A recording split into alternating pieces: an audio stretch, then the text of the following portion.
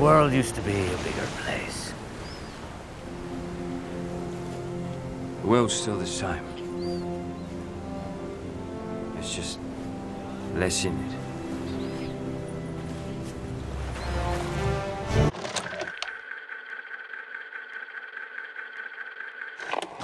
If there is one movie we all get to have that we can enjoy without question, one movie we can thoroughly love despite all logical reasons as to why we shouldn't, for me that movie would be Pirates of the Caribbean at World's End. See, even though I acknowledge that this film isn't a masterclass in plot like Dead Man's Chest, or in general not nearly as strong as Dead Man's Chest, I just don't care. Oh, some of the character intros are a bit too long or even self-indulgent. I don't care. Oh, there are a couple too many subplots going on at once. Don't care. Oh, they dig a bit too deep into the lore to the point of it all becoming overly convoluted. Nope. Overall, whatever totally reasonable criticism against this movie you throw at me, the only outcome there's ever gonna be is that uh, we're gonna have a problem, mate.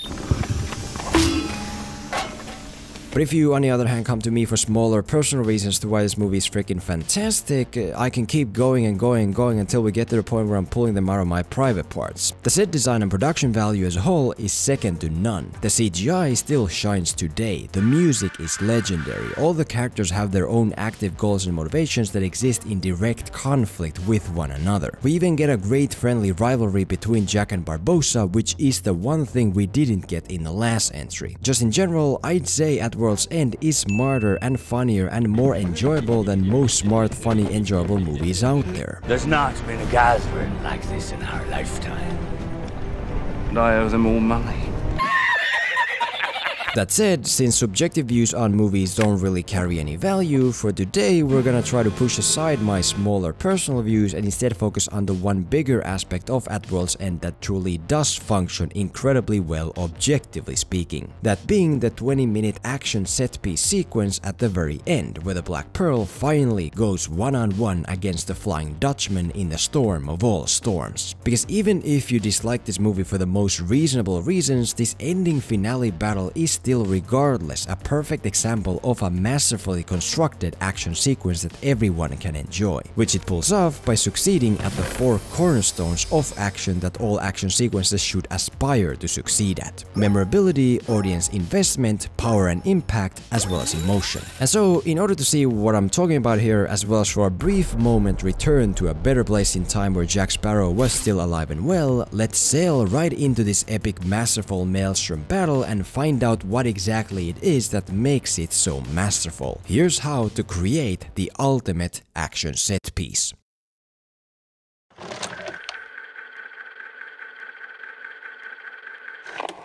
The very first thing you need to do when building an action set piece is to make sure it doesn't end up becoming the bland, mundane kind that the audience can just shrug off and forget about right after it's over, because forgettable is the last thing you want your movie to be remembered for. And the way to accomplish this is by placing the sequence in the right setting. Like I already mentioned, the crux of this finale battle is that we have the Black Pearl finally facing off against the Flying Dutchman one-on-one. -on -one. But since we've already had a bunch of different ship battles battles in this franchise alone before, that's not really a distinguishable or special enough of a sequence in of itself for anyone to remember. And so, what did the filmmakers here add to it to combat this issue? Oh yeah.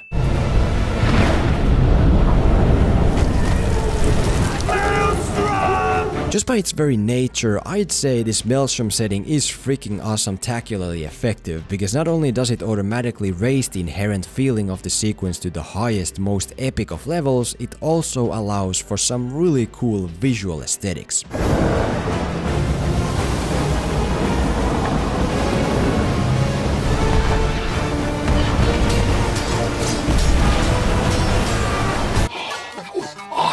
But the most important aspect about setting this battle in the middle of a maelstrom is the fact that the maelstrom setting is the thing that makes the audience remember the battle, because there is nothing like it that exists in any other movie in existence. Because in essence, this maelstrom setting is like a snapshot thumbnail that plants itself in the audience's head in a way that makes the audience remember it. You remember the revolving hallway in Inception, you remember the downtown shootout in Heat, the train brawl in Spider-Man 2, the heroes versus heroes airport battle in Civil War. As in, you remember back to these sequences through the setting, be that the environment or situation or mood or whatever.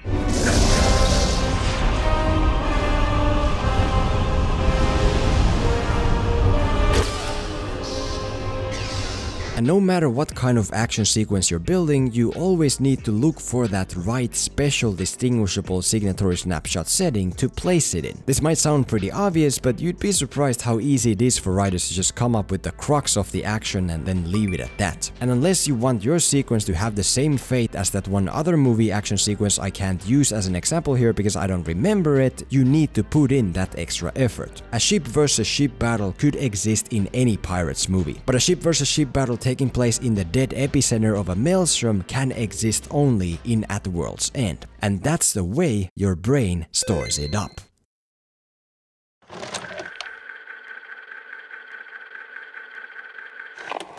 The second thing your action needs to do is always keep the audience invested enough in a way that they actually care about what's happening, which at World's End accomplishes by the use of character moments. See, in this epic Maelstrom set piece just like in most others, there's quite a few shots of more generic action where a bunch of characters just fight and swing swords at each other. And as cool and exciting as that can be, alone it very easily still quickly grows tiring and makes the action seem like meaningless noise in a way that distances the audience from it. Because in essence, it's just a bunch of people pointlessly whacking at each other with swords and we don't care. And in order to keep us caring and feeling invested, the movie trickles a big bunch of moments throughout this entire sequence where characters have to make choices and actions to develop or reaffirm their own personality and relationships or to push the plot forward. For example, instead of having Jack just aimlessly run around waving his sword for 20 minutes, the movie constantly places him at roadblocks which he has to maneuver through by showing us who he is. He escapes the brick like the master escapist he is. He goes to get Davy Jones's chest in his signatory witty scoundrel manner, and when he gets ambushed by Jones and his crew at a roadblock that he can't seem to possibly overcome, what does he do? He overcomes it. Never too late to learn, mate.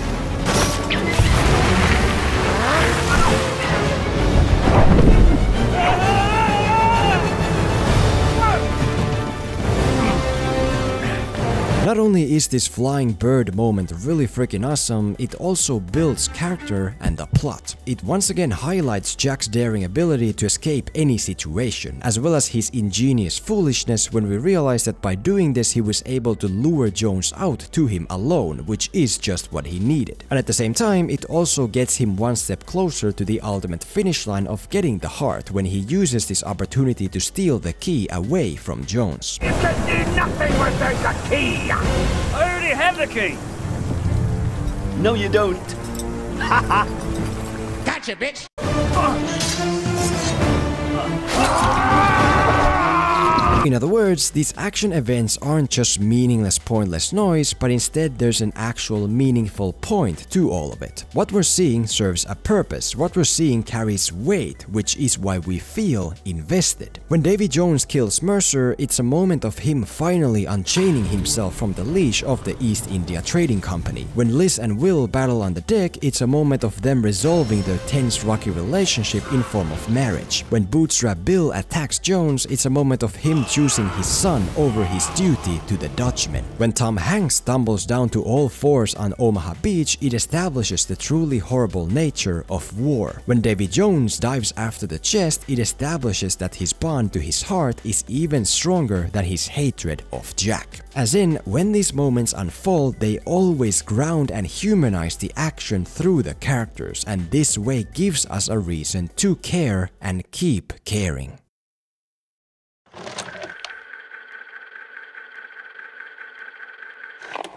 At this point we should have at least a pretty okay fully functional action sequence and the next step is to take what we have and boost it to whole new levels of impact and power in form of payoffs. In essence, payoffs can be viewed as taking puzzle pieces of the story that have been set up before and placing them in their final ultimate slots in the big picture. And as this movie shows, they basically divide into two different categories. Firstly, payoff moments that are set up within the sequence itself.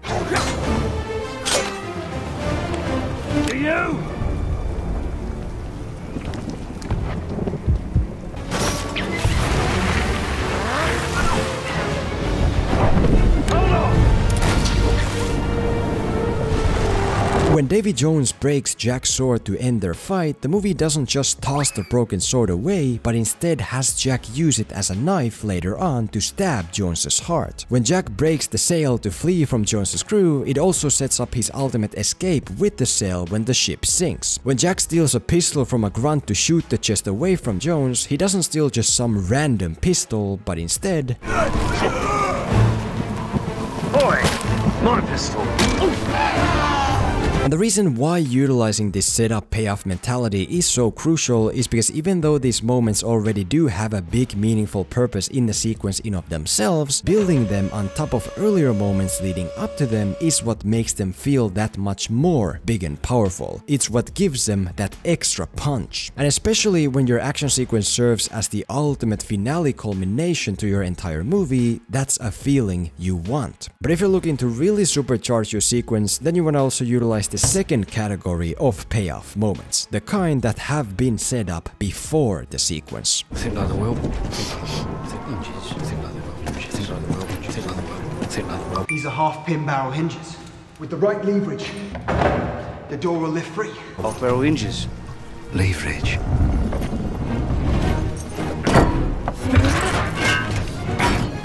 Jack escaping the brig is a cool character beat, but the thing that makes it more than just that is when you remember that the way he escapes is what he learned from Will all the way back in the first movie. The wedding beat is really nice, but the real impact of it comes from the fact that it finally resolves the tense rocky relationship Liz and Will have had throughout this entire film. Bootstrap Bill choosing his son over his binds to the ship is very impactful, but even more so because his binds to the ship have been established to have grown to the point of becoming seemingly unbreakable. Captain America lifting Thor's hammer is an incredibly powerful hero moment, but what really gives it the punch that it has is the fact that for years we've been setting up that nobody but Thor can lift the hammer, until at this moment we realize that what we've actually been setting up is that Cap can lift it. As a whole, this entire Maelstrom sequence is like a culmination payoff reward for the Calypso subplot, which has been built up for two movies worth. With every click of a payoff puzzle piece falling in place, there's a stream of dopamine released to the audience's brain. The more payoff moments you have, the more dopamine to the brain you have. The bigger you build the set piece sequence moments up to be, the bigger the sequence will feel. And the bigger the sequence feels, the more impact and power it packs.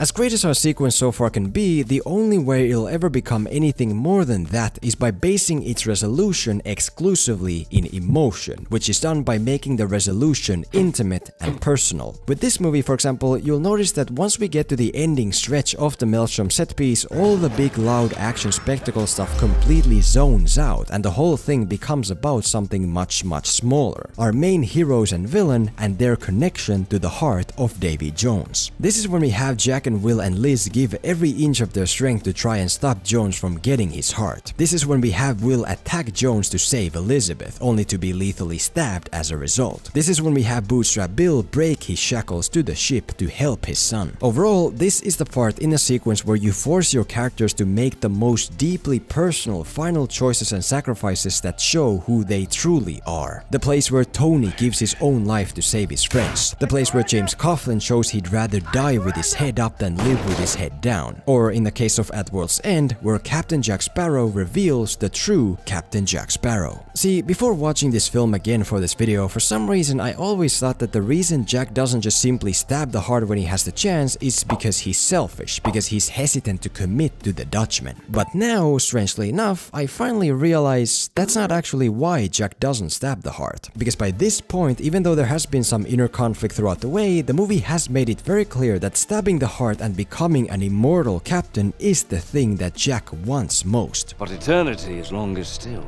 The immortal Captain Sparrow. Ooh, I like that. Let someone else dispatch Jones. Immortal has to count for something, eh? If you're in the brig, who's to stab the heart? Does seem to put immortality a bit out of reach.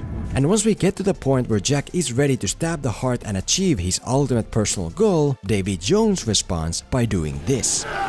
Wow!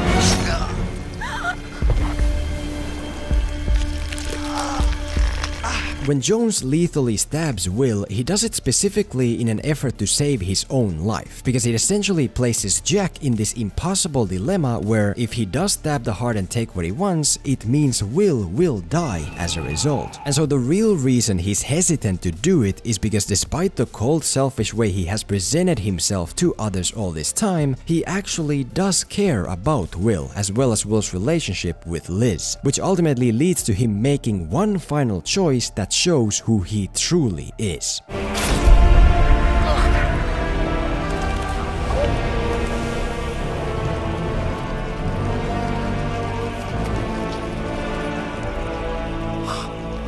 By making Will stab the heart in place of himself, Jack essentially lets go of the thing he wants most, just to save the life of this one guy he has always acted like he doesn't care one bit about. In other words, we have a selfish narcissist making an ultimate unselfish sacrifice for someone else. And if that doesn't make this resolution and this whole sequence emotional, I don't know what will. If you do all these things we talked about at World's End doing and it still for some reason doesn't produce a fantastic, massively crafted finale action set piece sequence, there is nothing that will.